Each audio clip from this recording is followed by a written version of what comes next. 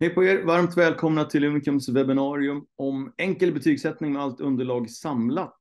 Eh, jag heter Jörgen Selander och jag arbetar för överraskande på Unicum och min roll här är bland annat att jag ansvarar för det vi utvecklar när det gäller betygssättning.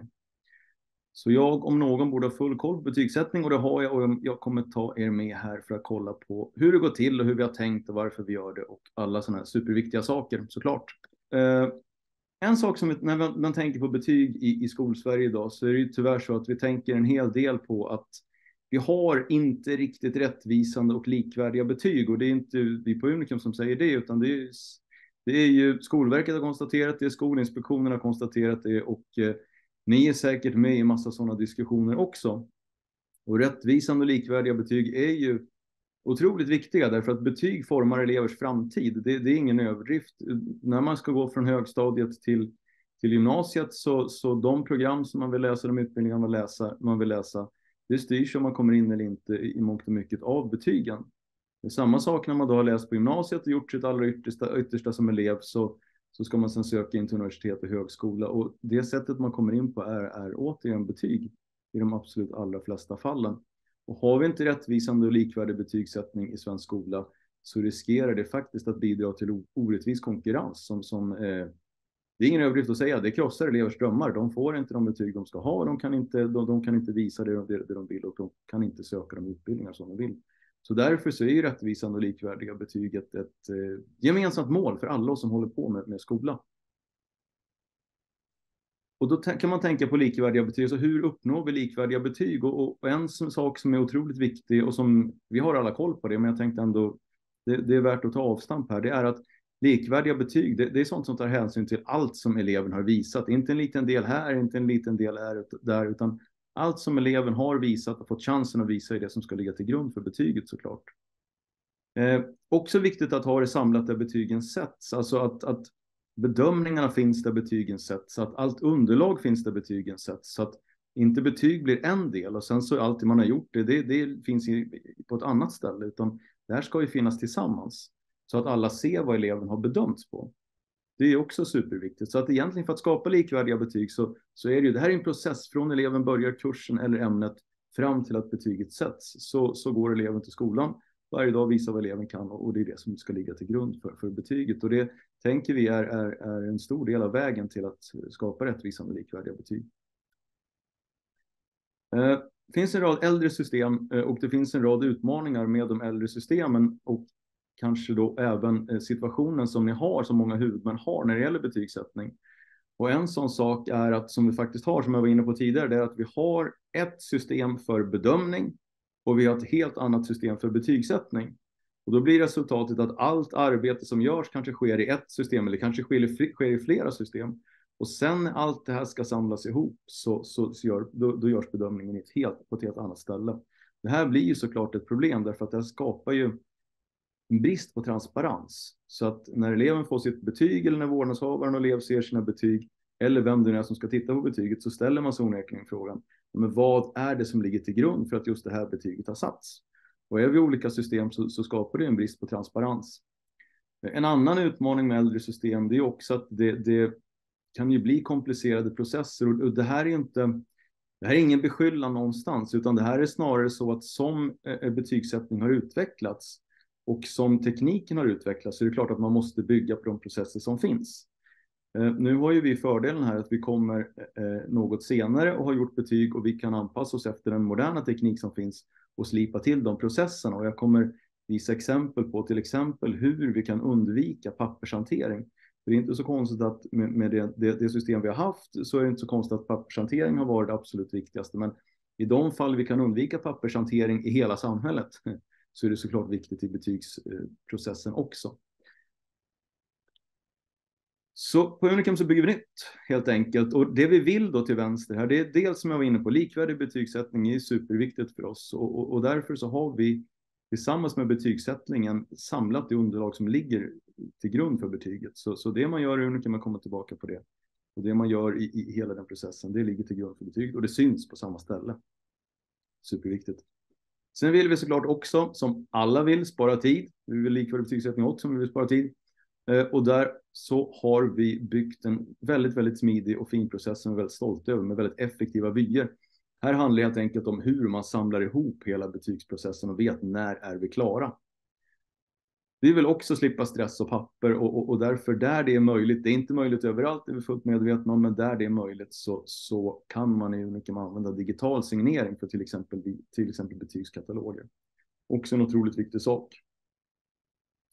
Och för er som redan använder Unicum så är ju allting samlat. Så att, och det här är en väldigt viktig del i, i, i likvärdigheten och helheten. Så till, till, det man gör i Unicum, det är ju till att börja med att vi tilldelar ju planeringar och uppgifter som, som kommer sen ligga till grund för det som händer. Det, det är längst till vänster. Så att eleven får planeringar och uppgifter, går igång, börjar lämna in planeringar och uppgifter och nu vet jag att vi kan ju även integrera med Google och Teams på den resan och på så sätt samla in underlag. Så att det som skapas av elever och lärare tillsammans då, som sen ska bedömas, det utgår från planeringar och uppgifter. Och ett verktyg vi har för det här som är väldigt effektivt, det är att alla planeringar och uppgifter i Unicum och även då i, i, i Google Microsoft-miljö så kan man koppla dem till betygskriterietabellerna. Så att du kan ta om en elev har gjort någonting, till exempel i svenska, så, och lämnat in det, så kan du ta och koppla in det på den nivå du bedömde det. Eh, det är, ingen, alltså det är ingen definitivt, det är inte så att vi sätter betyg på enskilda planeringar och uppgifter. Däremot så hjälper vi till att mappa det som görs av eleven i kriterietabellen. Så att man sen då som lärare kan gå in och titta väldigt smidigt att ja, men det är det här som ligger till grund, det är det här den här eleven har gjort. Då finns det materialet redan organiserat i, inne i Unicum. Och det som man gör där, det bidrar ju till en sammantagen bedömning av ett ämne eller en kurs som också görs kontinuerligt och löpande i, i Unicum.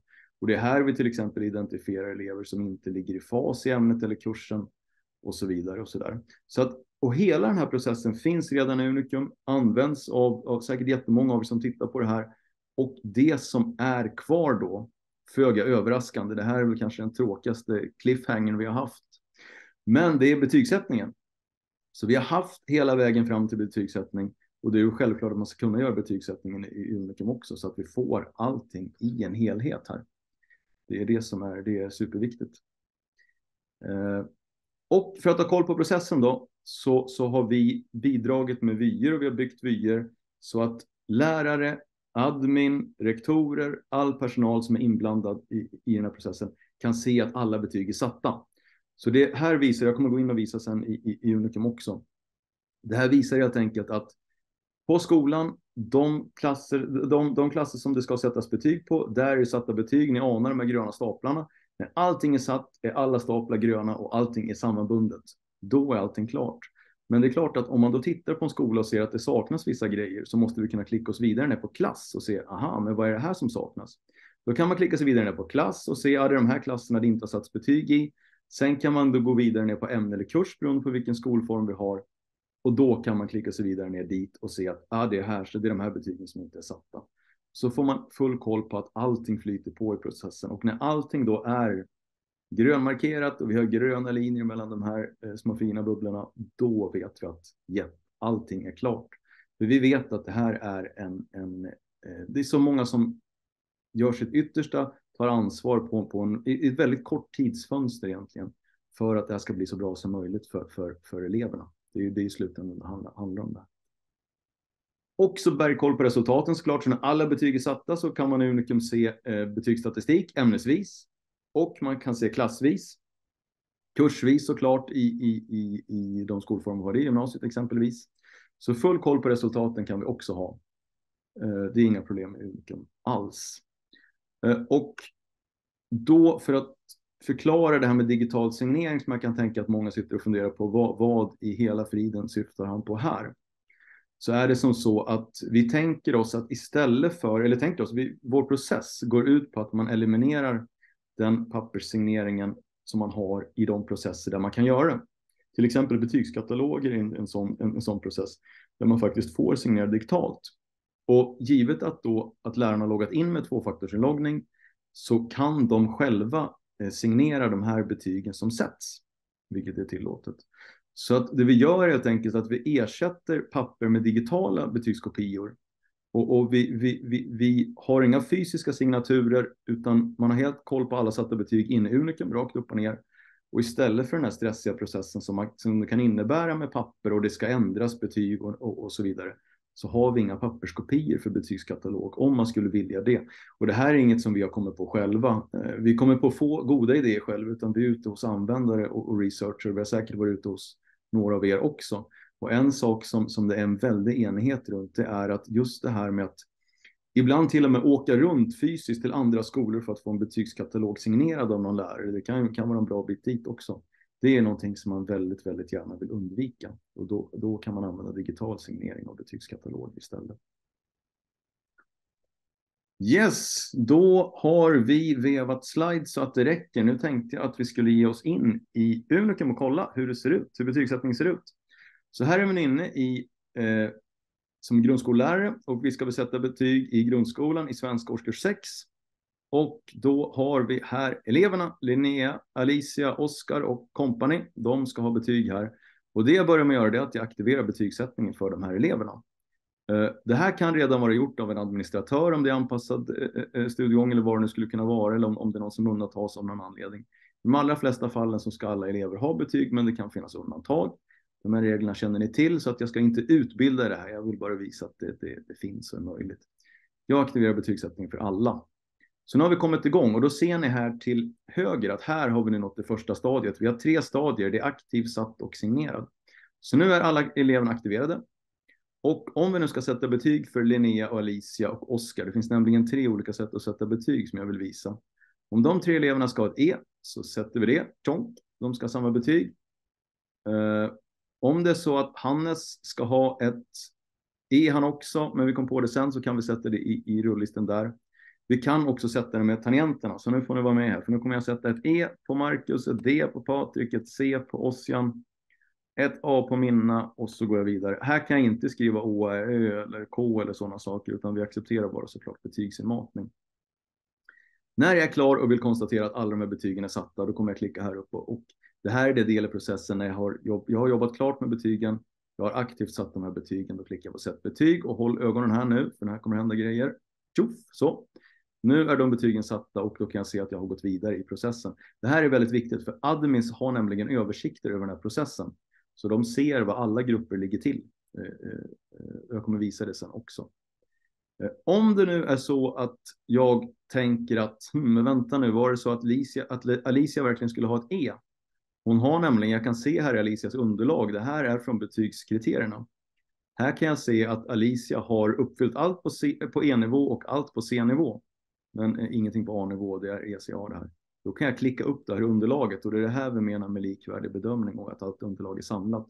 Då kan jag tjong, klicka upp här och se att Alicia uppfyllt allt på E-nivå, hon uppfyllt allt på C-nivå jag kan se den senaste bedömningen, eh, eh kommentarer, jag kan se utvecklingsområde och visa, visa kunskap och kommentarer om det skulle finnas det. Eh, så här kan jag då se vad vi har klickat i kriterietabellen. E här ser det ut som att de ska ha ett C. Eh, och om jag ytterligare vill gräva djupare så kan jag se precis allting som Alicia har gjort i ämnet svenska när hon jobbade mot betygskriterierna i årskurs 9. Här kan jag nämligen se varenda planering, varenda matris, varenda uppgift, varenda lärlogg och det här behöver man inte koppla in själv, utan det här görs automatiskt. När vi delar ut planeringar i Unicum till Alicia i svenska eh, eh, så kommer de automatiskt att placeras här. Så att det här är eh, helt automatiskt. Och jag tror att de allra, allra flesta har jättebra koll på vad som ska sättas, men det är en suverän funktionalitet att kunna se vad som ligger till grund. Här ser vi att Alicia uppfyllt allt på C, eh, så vi sätter ett C på henne istället här. Eh, eh, och det kan, jag kan sätta om det, det är det jag ska visa. Så att då sätter vi ett C på Alicia här istället och så går vi in och sätter betyg, tjonk, så nu har hon fått C där. Eh, så, så när vi är klara med de här betygen nu och har satt för alla, då ska vi signera. Och det här steget, då markerar alla. Det här steget nu, och är det slutbetyg så ska jag markera slutbetyg här också. Eh, nu ska jag komma fram till det här steget. Det här steget innebär nämligen att nu går jag, ni såg att jag kunde ändra när jag hade satt betyg. Men när jag signerar betyg, då kan jag som lärare inte längre ändra. Då hamnar jag i den här fasen när jag behöver låsa upp de här betygen, eh, begära upplåsning menar jag. Och då får en administratör eller en rektor komma och låsa upp betyget för att jag ska sätta om det. Så det funkar precis som betygsprocessen funkar för er idag. Så att här väljer jag nu att jag ska signera alla eleverna. Jag markera alla, klicka på signera. Jag får upp en lista på, vill du signera följande betyg för de här? Och sen så klickar vi på signera betyg. Och eftersom det här avslutar hela betygssättningsprocessen så vill vi bidra med en hel del pepp här. Så det kommer komma ett konfettiregn när vi har signerat. För det vet alla som, inklusive mig som har jobbat som lärare, vet att det här är en fantastiskt eh, skön känsla i mångt och mycket. Sådär, så nu har vi satt betyg för, för alla de här eleverna. Nu är vi klara med det. Och återigen, jag ska visa sen i översikten. Nu ser rektor och administratör att Astrid i det här fallet, hon har satt betyg i den här gruppen i svenska årskurs 9 och hon är klar. Så det blir som att för administratören att nästan lyfta på locket till en skola och för en kommunadmin att lyfta locket på en hel kommun till och med och se att precis vad som händer i hela verksamheten, vem som har satt vilka betyg och vad som saknas. Och allt bygger på att vi håller reda på vad lärarna har gjort i, i respektive grupp och för elever respektive ämnen och så vidare. Eh, om man skulle vilja gå tillbaka och titta på eh, vad det är som har satts för vilken elev och vem som har gjort vad och så vidare. Så har vi en händelselogg för varje elev. Så klickar man här ute på de här tre prickarna. Då kommer vi nämligen till en händelselogg här. Och det här tänker vi att betygssättning är ju eh, eh, väldigt viktigt myndighetsutövande. Eh, och då tänker vi att det är väldigt viktigt att vem som helst nu som har behörighet kan gå in och titta vem som har satt vilket betyg och när. För här skulle man då också kunna se om ett betyg har blivit ändrat, om ett betyg har satts av rektor eller vad det nu är för någonting. Så kan man gå in och titta i händelseloggen för varje enskild elev. Och om det är så att Astrid nu också när hon har satt betyg för Alicia tänker att ah, jag satte ju fel, då kan man begära upplåsning här. Så så funkar det. Uh, ja, så att det var det jag tänkte visa när det gäller eh, betygssättning för elever. Om jag går vidare då och visar hur det ser ut för en administratör så är det här då, jag ska uppdatera Navin, så är det här då eh, de betyg som ska sättas för den gruppen som jag alldeles nyss var inne i. Och för en administratör så är ju såklart huvudfrågan här, för den här gruppen är alla betyg som ska sättas satta. Eh, och då kan vi ju se här, det här är den översikt som jag tittade på förut och som jag beskrev i sliden, att här har vi aktiverade elever, vi har satta signerade så vi kan se att i bild, biologi, engelska är klart. I fysik saknar vi lite. I geografi så har vi inte någonting signerat överhuvudtaget. Vi har några satta. I hemkunskap, hemkonsumentkunskap så är allting satt och så vidare. Och vill jag som admin gå ner, det är kanske inte alltid att, alltid att man behöver det, men vill jag gå ner och titta så kan jag gå ner och titta i geografi här och se att ja, men då ser jag hur det ligger till. Så då får jag samma detaljer som läraren hade. Eh, om jag däremot då istället vill gå upp ett steg till skolöversikten så kan jag göra det också. Och det här är en väldigt liten demoskola så det är inte så jättemånga klasser. Men, men ni förstår att här kan man se alla klasserna och man kan se de aktiva ämnena, satta ämnen. Och det är samma här på skolnivå. Här ska allting vara uppfyllt för att vi ska ha gått i mål med betygsperioden. Eh, och här kan vi också se vilka betygsperioder vi har. Så vill vi gå tillbaka och titta på perioderna så kan vi klicka här väldigt enkelt. Och då kommer vi, och nu har vi bara två betygsperioder här. För dessutom, det är inte nog att det är en liten skola, det är en väldigt ny skola också. Så här har vi satt betyg 2022 höstterminen. Här sätter vi betyg just nu 2023 vårterminen. Vi är något efter får vi erkänna, men så kan det vara. Eh, så här håller man koll på. Här fylls det på med alla betygsperioder som vi har. Och vill man stänga en betygsperiod så gör man det och då kan man öppna en ny senare när det är dags. Och då börjar nästa termin och så.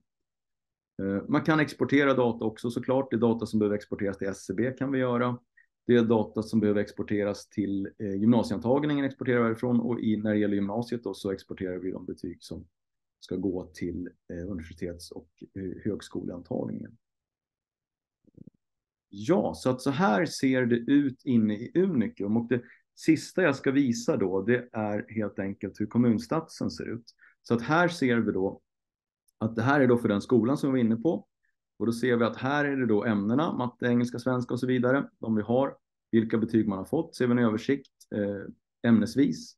Och klassvis kan vi också se per enhet, så kan vi se här med meritvärden och behörighet till yrkesprogram och till de teoretiska programmen, hur olika klasser ligger till.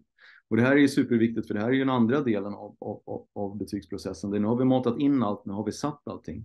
Och då är det ju det här som är kvar, att ta reda på resultatet och jämföra och så vidare och så vidare vilket vi också kan göra här. Så det var live-demon. Då tänkte jag att jag har hoppats att, jag har hoppats, jag, säga, jag har hoppats att jag visat att det, det är verkligen supersmidigt för lärare och rektor och admin och, och även vårdnadshavare att se och ha koll på vilka betyg som sätts och framförallt då kanske det underlag som ligger till, till grund för betygssättningen. Yes, Ebba, nu är det Q&A time. Ja, vi har din fråga. Eh, hur eh, funkar det med digitalt signerade betygskataloger? Ja, precis som jag var inne på då, så bygger det på att vi har tvåfaktorsinloggning för lärare med tillräckligt stark autentisering, vilket vi har. Och det är, det, det är samma egentligen som används i, så är man befintlig inom kund och har stödinsatser så är det samma inloggningsfunktionalitet som vi använder där. Och den behöver läraren logga in med. Jag hade redan gjort det. Jag hade kört lite tv-kock här, men det var för att ni skulle slippa se mig logga in då. Vissa av er har ju det i kommuninloggningen till och med automatiskt. Så att men, man är inloggad som lärare med tvåfaktorsautentisering och signerar betygen digitalt och då genererar det digitalt signerade betygskataloger som gör att vi slipper det här pappersarbetet och pappersexercerande och kan ägna mer tid åt annat.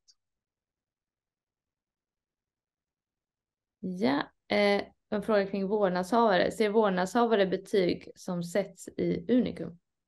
Ja, det gör de. Jag var, jag, jag, jag var inte inne och visade det, men vårdnads, elever och vårdnadshavare ser betyg som sätts i Unikum. De ser det under kunskaper och så går man till, till eh, betyg. Så de, de ser eh, betygen i Unikum också. De kommer även åt dem via Unikum Familj, då ska jag säga vårdnadshavarna såklart. Unikum Familj är ju appen som vi har för, för vårdnadshavare som vi använder för, för allt, för, för frånvaro och, och kunskapsbedömningar och ser dem och, och samtal och sånt. Och där finns även betyg med. Ja, och sen en fråga kring pilot. Eh, går det att köra en pilot eh, till en början? Ja, det går absolut jättebra. Det, det är ju, betygssättning är ju en, en, en lurig process på det sättet att det, det sker, sker väldigt intensivt under en väldigt kort period. Så om man vill testa hur det är att sätta betyg innan en, skarp betygssättningsperiod så går det absolut att börja där. Och det är kanske är rekommenderat att man först testar lite grann, skapar en testgrupp eller en testskola eller vad, vad man gör för någonting. Och det kan man göra tillsammans med oss. Och sen så kan man också avgränsa om man skulle vilja köra en pilot att sätta då betyg i, i, i en del, kanske klasser skarpt eller vad man gör för någonting. Och sen kan man, så, så kan man komma igång på det sättet. Eller så börjar man en testgrupp och sätter man skarpt direkt. Det, det, är lite, lite vad man vill. Men det går absolut att kontakta oss så att vi kan sätta upp en, en bra pilot så att man får prova på. Ja, eh, en fråga som jag tror hör till eh, det, det, du var inne på innan här. Hur gör, hur gör lärare som inte har arbetsmobiler för tvåfaktorsignering vid kataloger? Ja, det är det sättet som ni hanterar det på, på i, i, i, kommunen. Då. Det, det, finns lite olika sätt. Det finns tjänstekort och lite olika saker. Och, och alla de här, det, det, finns ingen teknisk begränsning här, utan om ni, om ni har en stark autentisering som fungerar så kommer ni kunna använda den. Eh, eh, så att det är inte, det finns ingen, det är liksom inte begränsat till någon typ av, det är inte bara mobilt bank-id och sånt, utan det kan vara tjänstekort och det kan vara lite olika saker. Ja, och sen en fråga kring SFI. Har du exempel på hur man skulle kunna sätta betyg för SFI, SFI-elever där alla elever har en individuell studieplan? Det betyder att till exempel fem e, elever kan få betyg och gå vidare till nästa kurs medan tio stannar kvar. Ja, det var precis det jag visade i början där när jag visade vilka elever som ska sättas betyg på. Det är alldeles utmärkt att använda i det syftet till exempel, därför att då är det bara vissa elever som det ska sättas betyg på och som ska flyttas fram i processen om man säger så. Och då finns det möjlighet att bara sätta betyg på dem och sen så väntar man betyg, med betygssättningen för de som inte ska ha betyg direkt. Så att det, det är en alldeles, möj, en alldeles utmärkt eh, eh, möjlighet att sätta betyg på bara vissa enskilda elever. Ja, eh, och sen en fråga kring skugg skugga matriser. Varför går det inte att skugga matriserna eller färgkod? Eh, det vill säga grönt att eleven uppnått hela och gul att det är exempelvis B-nivå. Elever får stress av att exempelvis bara se ECA och så sitter jag och pratar om att den visar blandade kvaliteter. Ja, just det. Superbra fråga. Den här, den här går lite utan, den här går in på bedömningsområdet, men det är ju superbra medan vi ändå håller på här. Eh, den tangerar ju betyg eftersom jag redan pratat om underlag så att den är ju ytterst relevant ska jag säga med frågan. Det är så att vi i Unikum eh, vill att man, eller vill och vill, men, men, som lärare så kan man då samla in underlag istället till kriterietabellen precis som jag visade. Så istället för att markera att det är gult eller något att man har kommit igång, så om du samlar in underlaget där, kopplar det till kriterierna, då, då ser man att den här eleven har kommit igång med just den, det här och de här kriterierna och så vidare. Så att det är vår variant kan, kan jag säga på, eller kan jag säga, det är så. Vår variant på att gulmarkera och färgmarkera, det är att koppla in underlag. För då ser du dessutom, det fina är att du ser hur det fylls på. Så om man till exempel gjort tre uppgifter eller tre planeringar för något kriterium, någon aspekt, ja men då har ju eleven kommit en rätt bra bit på väg där de ser att alla ligger på C-nivå eller A eller vad det är för någonting. Så att vår motsvarighet i färgmarkeringar, det är att koppla in underlag och sen så ser man hur det fylls på för respektive elev. Fördelen med det, det är att då kan man klicka på de här sakerna, planeringuppgifterna som man kopplar in. Och så kommer man direkt till den planeringen och uppgiften. Så det blir en, en mer nyanserad bild. Ja, eh, hur hanteras skriftlig bedömning för eleven som fått betyget F i slutbetyg? Ja, det visar jag inte. Jag, jag ska ner på alla detaljer. Om ni vill veta, ja, det, det kommer till sen. Nu ska inte jag föregripa alla slides här, men, men, men eh, jag visar inte det av, av, av, av tidshänsyn. Men om man sätter eh, ett betyg där, efter, där det krävs att man ska ha skriftlig bedömning så kommer det upp en ruta och de, eh, så man kan skriva in då, eh, bedömningen. Och där så följer den med eh, där den ska följa med, till exempel på termins och slutbetyg och sådana saker. Och en annan eh, bra sak med det, det är att elev och vårdnadshavare, för det är klart att de får den här på, på papper också, men då kan de även gå in i Unicum och se vad det var för bedömning till exempel, så kan man se det även digitalt och inte bara på det fysiska pappret. Vilket väl också är väl en generell fördel med att ha betygssättning där elev och vårdnadshavare befinner sig.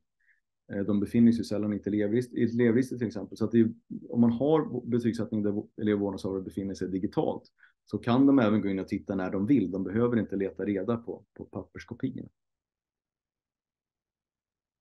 Ja, och en sista fråga som jag kan svara på är eh, någon som undrar om den här presentationen, om man får den så att man kan se i efterhand och den kommer vi mejla ut efter eh, i ungefär imorgon eh, så får ni den på mejlen. Ja, det var yes. alla frågor. Toppen, tack Ebba. Sådär, om man vill upptäcka mer om, om betyg och då kan man gå in på unicum.net betyg. Det är inte svårare än så och eh, eh, läsa på och fylla i ett formulär om man skulle vilja det och, och sådana saker och kontakta oss. Eh, om ni vill kolla användarberättelser och sånt och tidigare webbinarier och andra, grejer så kan ni gå in på blogg.unikum.net. Det rekommenderar jag starkt. Eh, jag är faktiskt själv inne och läser där ibland för att det är svårt att hålla koll på allt som händer på Unikum Så jag brukar själv gå in där och kolla. Det är väldigt intressant. Eh, om ni vill då boka in en, en, en demo och sånt sådär och, och ta kontakt med oss så fyll i formuläret som kommer i mejlet med inspelningen.